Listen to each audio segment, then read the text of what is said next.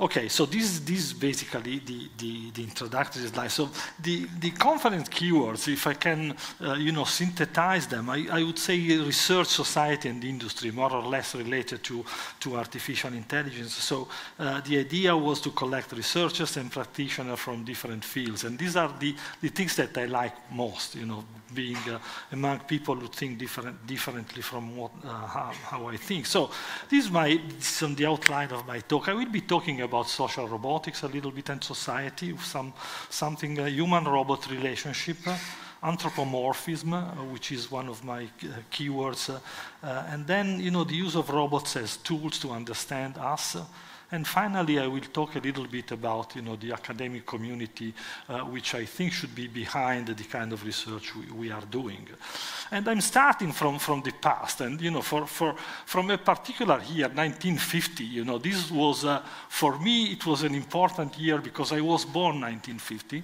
Uh, but in the same year, you know, there appear a lot of uh, these four uh, publications, which I think uh, resume, I mean, summarize very well what robotics is. You know, it's it's, uh, it's science fiction, it's, it's computational, it's uh, computer intelligence, it's uh, cybernetics, and it's psychology.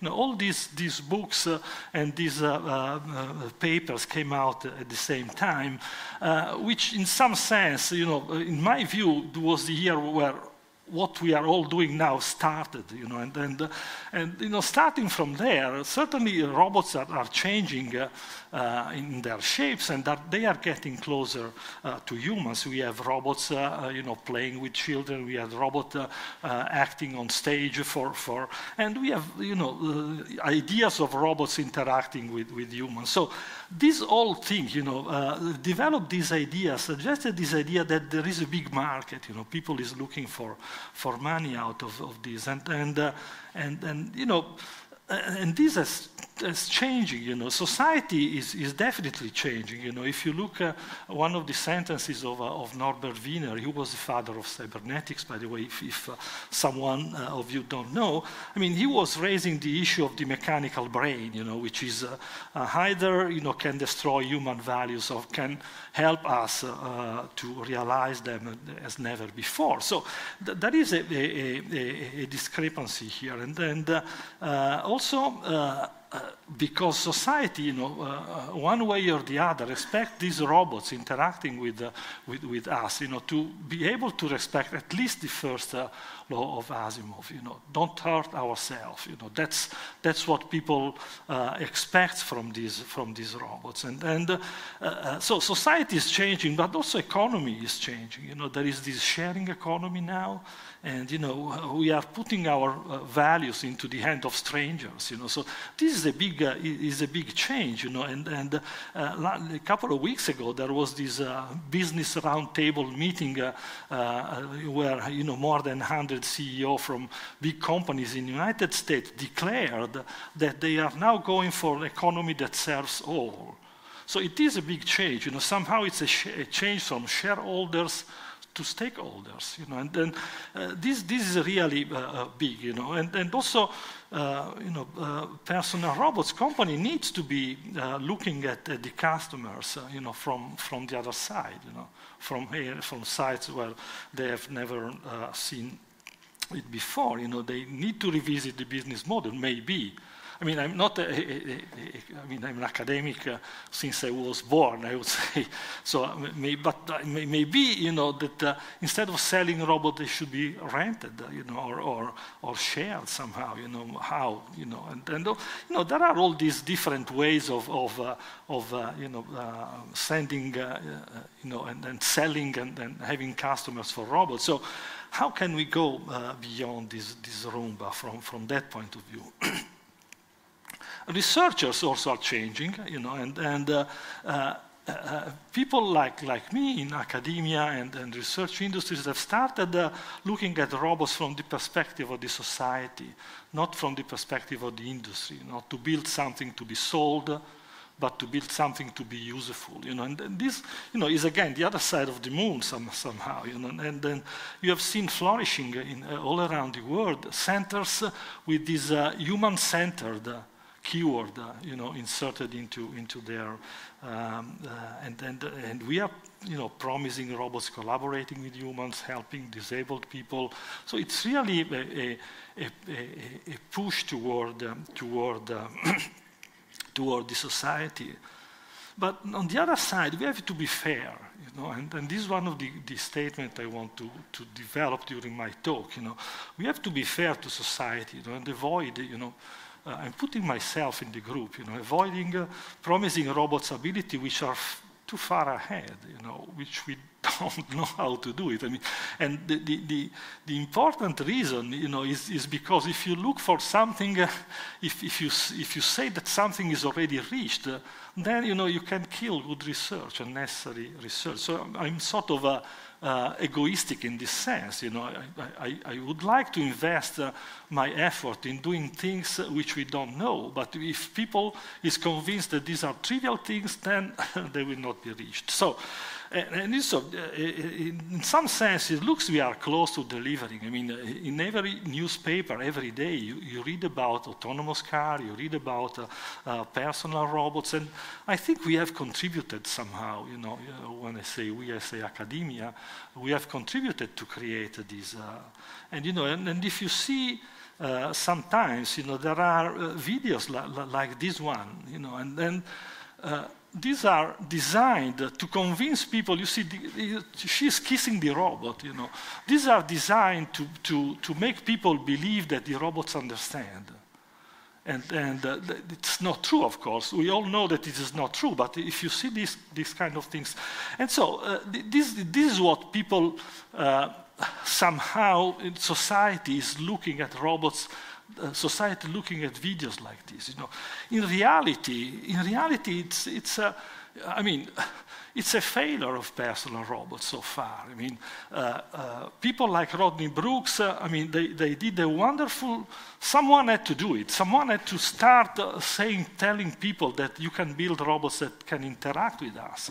So this was a very important and very needed action from, from his part. But I mean, it was closed, you know, it was sold, uh, now all the companies is going to, uh, to, all the workers are going to another company. And on the other side, you know, this Pepper, it was rented by many people one year and then people started not renewing the renting, you know, why, why is that, you know, and, and you know, and, and SoftBank started buying other kind of robots. So, what's the problem here? I think the problem is that uh, there is a misunderstanding, a mix-up between, you know, working next to human to, with respect to working with humans. Next to humans, you know, like, uh, like in, in the Universal Robots advertising, you know, close proximity. You know, this makes a big difference if it is close. So these all things, you know, is creating uh, a lot of confusion. You know, and, and uh, companies are bought and sold, uh, threads of research in big companies uh, are opened up and then they are closed down. So what, what, what's the issue here? I mean, what is the problem? I mean, and, you know, to make it very simple, you know, uh, what, what is missing, you know, is, is, is the fact uh, that there is a mismatch between physical abilities and interaction skills, you know. In 20 years, Mark Raibert uh, in the 80s was working on these hopping robots, you know, dynamic control of a robot.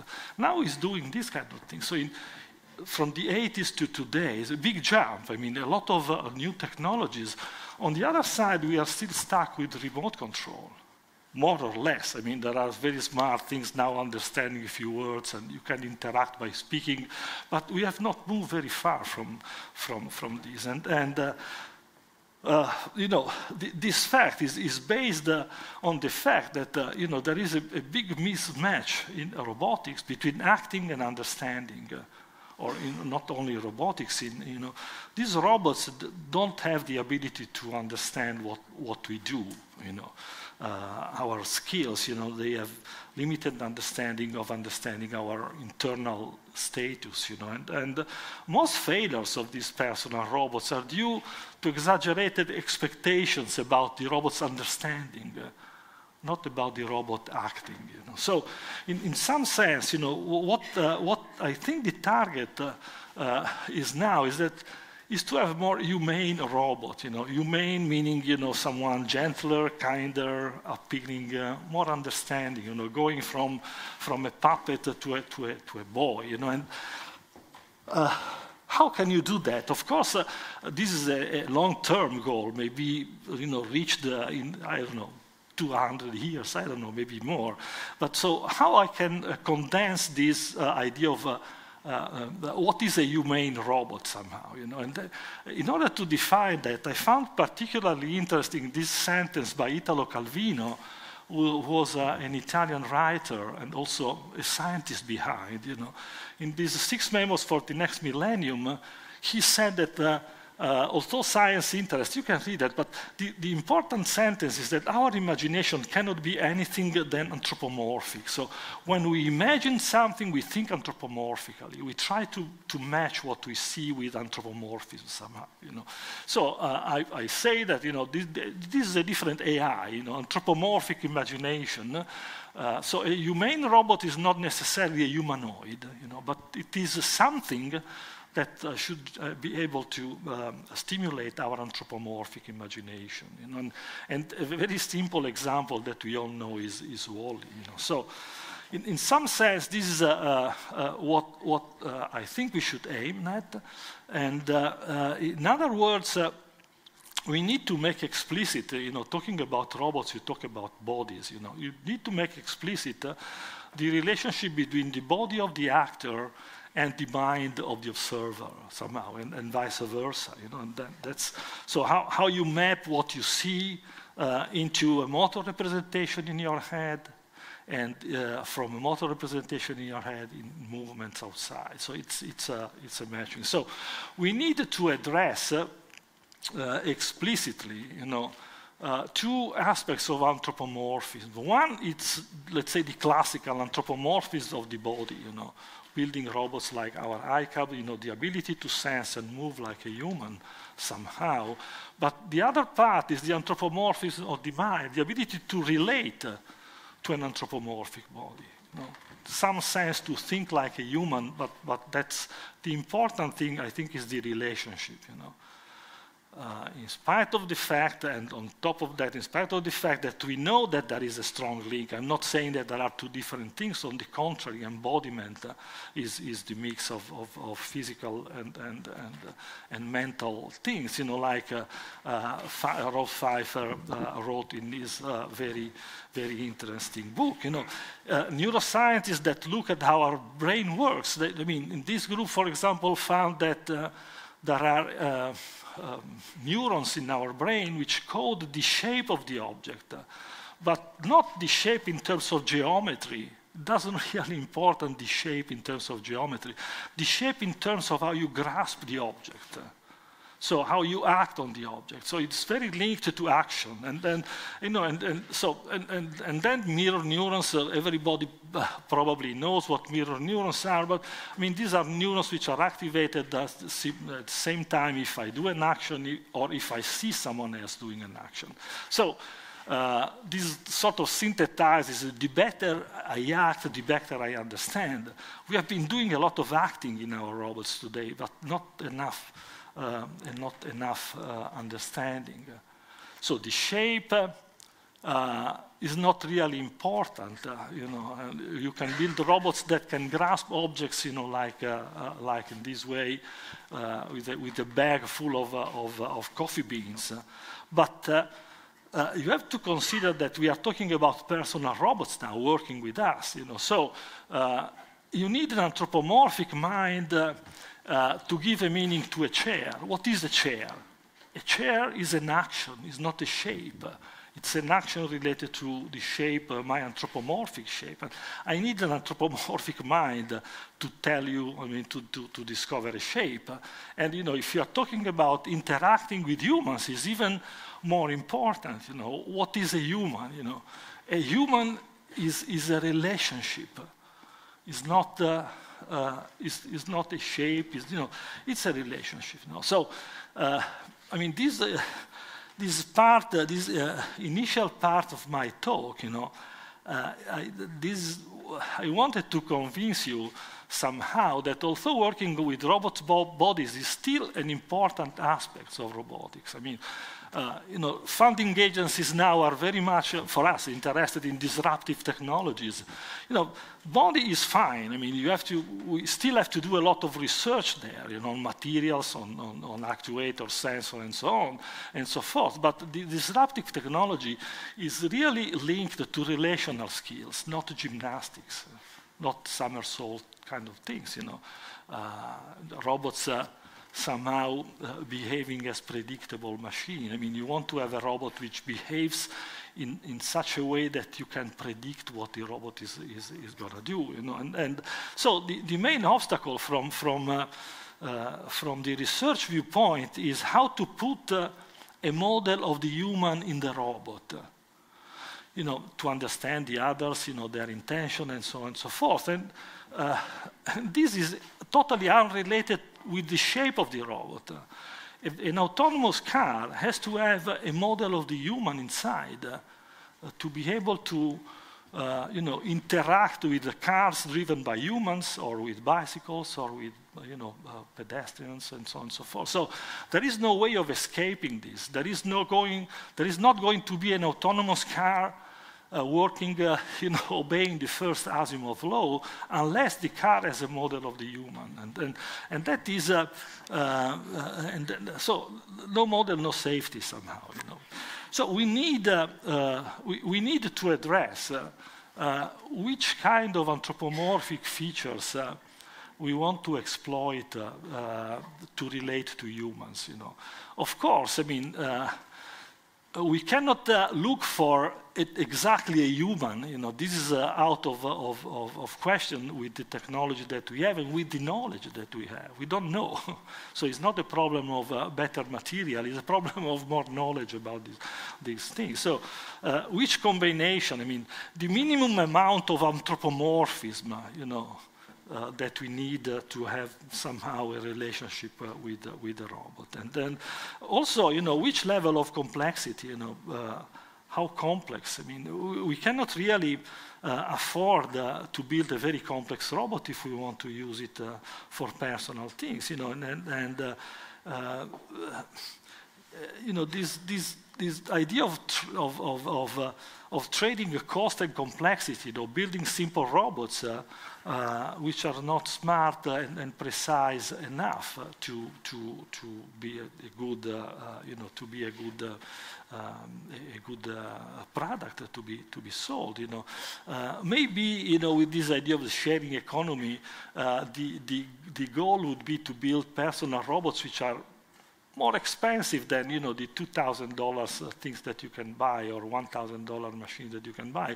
But but you know with the idea that maybe they can do something useful, not as uh, these very uh, simple robots. So which way to go? I mean, and, and then I want to spend a few, a, few slides talking about deep learning because it's one of the topics, of, hot topics of research these days. So uh, uh, which way to go? We, we see part of the roads ahead of us, we see it. Part of the road is not seen, so it's, it's hidden. So which model? I mean, uh, I'm uh, personally academically interested in, uh, in the human brain, you know, understanding the brain by building robots uh, and building robots robots by understanding the brain. So uh, for me, it's an essential uh, uh, ingredient, not for everybody, fortunately, because we are all different, but, but for me, it's an important. So which model I'm, I'm going to use? Is, is, deep learning, you know, as, as, as, as promised, you know, in, in, bringing us intelligence? Well, in a very simple and, and, and uh, very simple way, I don't think deep, deep learning is the solution that I like, at least. You know, uh, first of all, because it does not explain. You know, uh, this hidden uh, processing does not explain, and to me, understanding is more important than performance some, somehow. And also, deep learning is not a model of the brain. You know, this idea of, of, uh, of, uh, of uh, multiple layers is, is, not, is, not, is, not really, is not really the solution I like, because, I mean, any uh, simple task that we perform is performed in our brain in a huge number of layers. Not even you know the number of layers that are that are used today. So, and and, uh, and, and this idea is is, is not uh, um, does not resonate with with with what is in, with what uh, is thought now about um, how the brain works. Uh, and uh, last but not least, you know, deep learning is more correlation than causation. Even you know, uh, Yoshua Bengio, which is one of the person that actually started this deep learning many years ago, he's saying that we need machine that can discover causal models, which is, which is not there. So, on the other hand, what I think is that you know, this idea of deep learning may be the starting point of this you know, child-machine approach. And what I mean by child-machine uh, was well defined by, by Alan Turing when, you know, in his uh, 1950 book, you know, he said, instead of trying to produce a program to simulate the adult mind, uh, why not rather try to produce one which simulates the child's?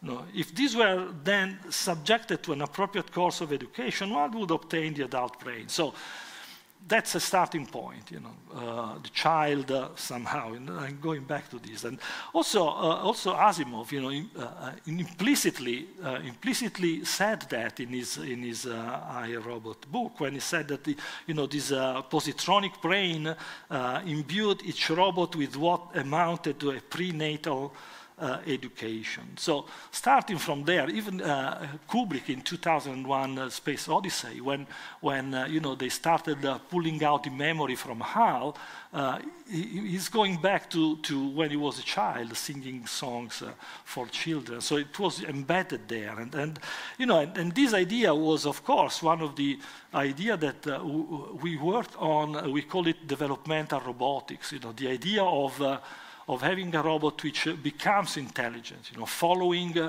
the path that uh, uh, we follow during our cognitive, motor, and, and sensory development. Uh, maybe, you know, that uh, this idea of deep learning can, can give that, can give the base of, of, of uh, you know, the time zero, what I call the time zero, you know, the, the, maybe with developmental robotics, we, we started learning evolution somehow, you know, it's just too much, you know. And certainly uh, we, need, uh, we need different tools for the evolutionary part and from the developmental part.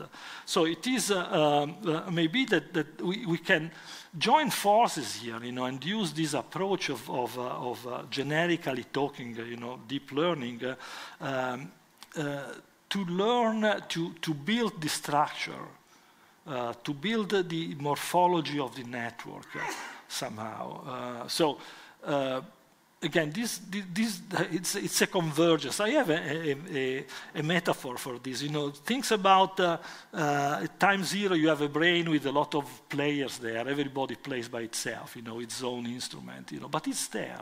It's something already there. And then, you know, the, the, the, the, agent is born and it starts interacting with the environment or even before birth. But then there is this development, you know, going on. And then finally, you know, there is sort of a harmonic uh, playing of everything. So this does not say how uh, we do it, and this does not say how close we are, you know, as JJ was, was asking before. But it may be, you know, that we need different tools, uh, not only logic, not only, uh, uh you know, cognitive uh, science, but also deep learning, as I was saying, evolution. You know, we need to to make these things to converge. So somehow, you know, it's the old uh, battle between nature and nurture. You know, what is innate and what is developed, and and and, uh, and somehow we can uh, we we could say that you know nature gives the architecture and nurtures provide the parameters for the architecture. So in, some sense, you know, this, uh, condensing this, I think uh, the idea uh, here is to focus on the ontogeny of social relationship. Uh, you know, how we develop, uh, how humans develop, uh, you know, the relationship between themselves, you know, since they are born to, to the end. I, I still have, I think, five minutes. Is this okay? Is too much. Okay, so uh, let me go. Uh, let me go fast. Uh, I thought, yeah, I thought it was half an hour, so that, that's that's the reason why. So we need to invest. so let me. Well, anyway, we, we need to invest more in, you know, uh, in robots, not only in, uh, in actions, but also in communications. And, you know, this is uh, one of the topics. And, and uh, with the robot, we can do a lot of things, you know. Uh, uh, we, we, can communicate a lot of messages with, with our own body, and, and we can exploit that, you know. One thing certainly we need to, to, to, to do is to, is to go beyond reactive systems. You know, we, are, we have these robots in general. There are 40 of these robots around the world, by the way, but I mean, they, they are doing very interesting things in, in, in reacting, you know, action perception. I think we need to go beyond and, and, and end up into an exploratory prediction loop. Uh, which is a more active uh, uh, role in the, in, in the world. And, and, and so the priority should be on technologies to improve anticipation, not reaction time. And to do that, uh, as I was uh, saying a few times already, we need to know our internal model. Some of the aspects, key aspects of how we interact uh, among ourselves are not known. A lot of them are not known. So we need to push that. We need to invest, uh, to invest uh, in parallel, you know, how to, uh, to study how the brain, uh, how the human work, and how you can implement that, uh, that on robot. And, you know, a humanoid is, is an ideal tool to study this because it's, it's a robot which, with which I can interact, I can relate uh, to, to, to it. So I, I, can use the robot to implement models of humans, but I can also in, uh, use the robot uh to study how to interact, you know, and, and this is uh, uh, what I say is that, you know, it, you could see that as a wind tunnel, you know, to study, to study in social interaction. Of course, it's a teamwork, and uh, I mean, I'm not uh, saying anything about what we are doing, but, uh, uh but uh, I mean, we do a lot of things. Uh, using the robot as a stimulus to interact, because we can control its movement very precisely, so you can plan these things. So, so evolution is bounded by our lack of, of uh, knowledge about, um, about the human mind and uh, how, uh, how do we go. I mean, I, I, want, uh, I, I want to say one important thing. Let me skip this. I mean, uh, we have to go beyond biomimetic models, you know, models which describe what, uh, how things work. We have to ask ourselves why they work like that, you know. And, and in order to, that, to do that, we need to join forces. I mean, we need to join forces in different ways, you know. Uh, policymakers need to uh, make decisions based on facts and not on ideas. Uh, publisher needs to converge, you know. Uh, Nature published an article uh, uh, saying that scientists must work together. And then, you know, after a few months, he published, started publishing journals with just splitting the field in four or more. So this is something we have to, to. and this is most uh, difficult thing, you know, academia need to nurture the formation of an extended research community. And when I say extended, I don't only mean uh, people working in technology or computer science, but also, you know, uh, performing arts, philosophy, you know, because some of these people know or, or, have, or have thought about what a human is, you know, and how emotions is, uh, is transmitted. even with a drawing, you know, they, they know how to transmit emotion. So, uh, I, I think I'm, I'm, finishing with, uh, with this, uh, you know, summary, just the keywords, think beyond real time, uh, social interaction, anthropomorphic mind, understanding uh, humans to build robots and vice versa, and be fair to society. And thank you very much. Sorry for the time. Yeah. Thank you, Giulio Sandini.